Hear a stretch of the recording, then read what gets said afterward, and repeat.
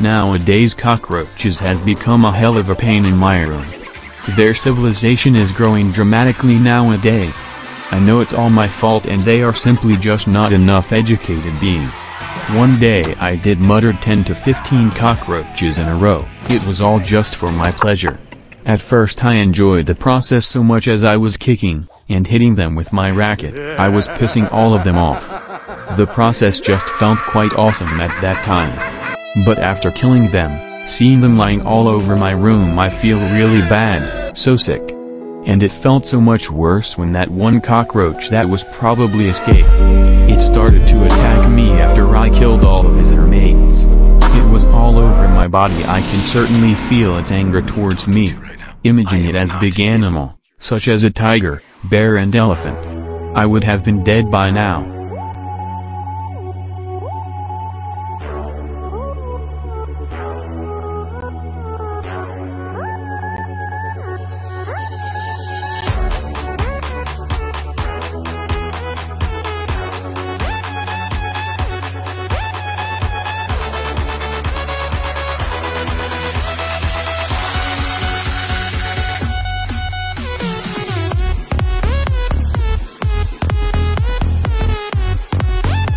I was seriously amazed, like it knew that I was the enemy who murdered his entire clan. What a bad person I am.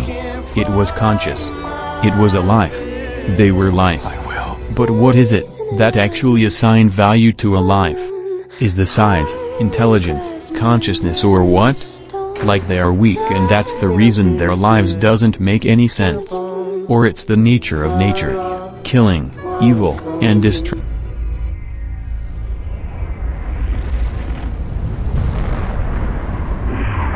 Of course it is. After that day I just don't killed much of a cockroach. So sometime the whole clan appear out of nowhere for hunting. I saw some babies with the mother cockroach just a while ago. It's the load shedding on work while I was bathing. The door of my room was opened. Electricity is the reason why my room was so dark and our corridor has a light that shines even without electricity. The mother cockroach was drawn to the light. Hunting fact. I was just coming out of my bath and I saw, our mother cat, who recently gave birth to three babies 9 to 10 days ago. She just caught a mother and started to eating it. And that's how nature works.